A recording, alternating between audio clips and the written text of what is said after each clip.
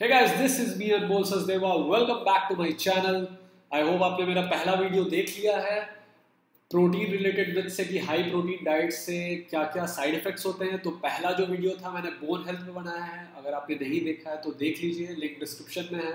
और यहाँ आपको आई बटन पे भी दिख जाएगा। आज मैं वीडियो बनाने वाला हूँ कि प्रोटीन से क्या किडनी डैमेज होता है या नहीं। या फिर यूँ कहें कि एक्स्ट्रा प्रोटीन अगर आप डाइट में ऐड करते हैं तो उससे आपको कोई भी आपके किडनी को कोई डैमेज हो रहा है या नहीं हो रहा है। तो शुरू करते हैं पहले कि ये मिथ आया कहाँ से। तो बेसिकली जो किडनी का मिथ है कि किडनी में कोई भी डैमेज होता है, वो एक्चुअली एक ऑनेस्ट रिसर्च से ही आया है। जो रिसर्च था, उसमें ये बताया गया था कि अगर कोई पेशेंट है जिसको प्री एग्जिस्टिंग किडनी डिसऑर्डर्स है या यूँ कहें कि उसको पहले से कोई किडनी में प्रॉब्लम है और उन लोगों को अगर हम लोग हाई प्रोटीन डाइट देते हैं तो उनकी जो कंडीशन है, वो और ख़राब या डिटोरिएट होगी। ये रिसर्च बिल्कुल सही है और बिल्कुल सही बात है कि अगर किसी पेशेंट को प्रॉब्लम है और उसको हम लोग एक्स्ट्रा प्रोटीन डाल के दे रहे हैं डाइट में तो डेफिनेटली उनको इशू आएगा। बट अगेन क्या नॉर्मल लोगों को भी इससे इशू आएगा या नहीं आएगा, ये सिर्फ़ इनके बेसिस पे कहना भी गलत है।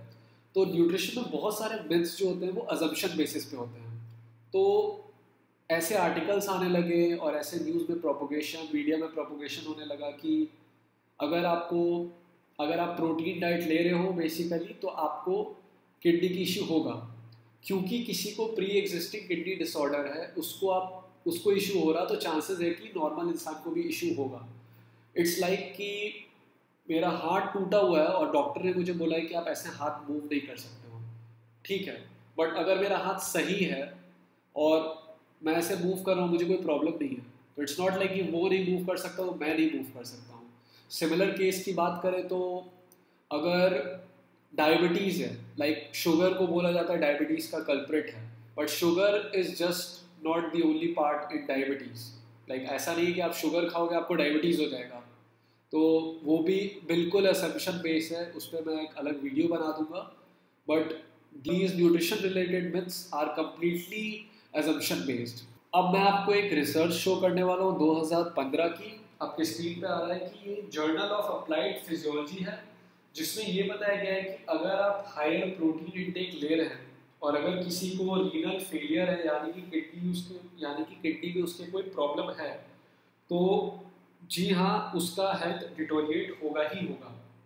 और higher protein intake will lead to renal failure but इसमें ये भी बताया गया कि ऐसा कोई भी प्रूफ नहीं है कि ये किसी ऐसे इंसान को जिसको किडनी की प्रॉब्लम पहले से नहीं है, उस पर अगर हम लोग हाई प्रोटीन डाइट या प्रोटीन इनटेक को अगर हम लोग मैनुपलेट कर रहे हैं तो उसके किडनी फ़ंक्शन पे कोई भी चेंजेस नहीं देखा गया। अब मैं आपको एक और स्टडी दिखा रहा हूँ 2007 की, जो W H O world world health organization की, उसमें भी क्लियरली मेंशन किया गया कि हायर प्रोटीन इनटेक से अगर पहले से किसी को प्रॉब्लम है किडनी की तो उन पे ही इफ़ेक्ट आया गया और अगर हेल्दी सब्जेक्ट्स को ले की बात की जा रही है हेल्दी लोगों की बात की जा रही है, जिनका किडनी फ़ंक्शन प्रॉपर है, उनको प्रोटीन के मैनुपलेशन से प्रोटीन के चेंजेस से कोई भी इम्पैक्ट या एडवर्स इम्पैक्ट किडनी पे नहीं आया। सो आई होप गाइस कि again this myth is busted कि प्रोटीन इनटेक को बढ़ाने से एक हेल्दी इंडिविजुअल की किडनी पे कोई प्रॉब्लम नहीं आएगी। आप अगर हेल्दी प्रोटीन इनटेक रख रहे हो अपना, आप प्रोटीन इनटेक अपना बढ़ा रहे हो। और मैं ये भी नहीं बोलूँगा कि आप प्रोटीन इनटेक बहुत ज़्यादा करो। प्रोटीन कितना रिक्वायरमेंट है उतने ही में लो और प्रोटीन का कितना आपको रिक्वायरमेंट है उसको मैं वीडियो बना चुका हूँ। डिस्क्रिप्शन में मैं डाल रहा हूँ। मैक्रोस पे वीडियो है। कितना प्रोटीन आपको कट में बल्क में या मेंटेनेंस में लेना चाहिए सब कुछ उस वीडियो में आप प्लीज़ जाके उस वीडियो को ज़रूर देखिए। इसके अलावा एक्स्ट्रा प्रोटीन लेने की आपको बहुत ज़्यादा ज़रूरत नहीं है। इवन आपके बॉडी में अगर प्रोटीन इंटेक आप जा रहा है, क्योंकि बहुत लोगों के दिमाग में मिथ होता है कि वो तीन अंडा खा लिया या डेली चिकन खा रहा है तो प्रॉब्लम कर सकता है। बिल्कुल नहीं। आपके रिक्वायरमेंट के बेसिस पे आप प्रोटीन खाओ। कोई इशू भी नहीं है आपको।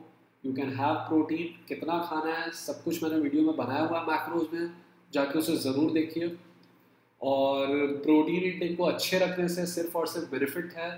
आपके बॉडी कॉम्पोजिशन पे बेनिफिट है, आपके वेट मैनेजमेंट पे बेनिफिट है। तो it's very good to have optimal source of protein और बहुत सारे लोगों का प्रोटीन इंटेक पूरा नहीं होता तो डेफिनेटली आई सजेस्ट कि आप प्रोटीन इंटेक को अपने ध्यान में रखें। क्योंकि हमारे फ़ूड आइटम में भी प्रोटीन इंटेक मिलना नॉर्मल फ़ूड से, दाल, चावल, रोटी से उतना इनटेक नहीं हो पाता है। तो प्रोटीन इंटेक पे भी आप लोग ध्यान दीजिए। और आई होप गाइज़ आपको वीडियो पसंद आ रहा हो। वीडियो पसंद आ रहा हो लाइक करें। कोई क्वेरी हो कमेंट सेक्शन में डालें। सब्सक्राइब करते रहिए सब्सक्राइब करवाते रहिए अपने दोस्तों से। और मेरे जो भी वीडियोस इन्फॉर्मेटिव लग रहे हैं, आप उनके साथ शेयर करते रहिए। तो till then guys stay fit stay healthy and stay aesthetic